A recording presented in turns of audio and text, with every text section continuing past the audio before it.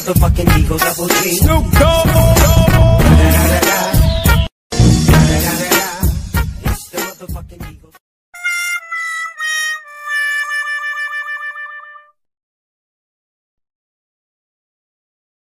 Ha ha ha!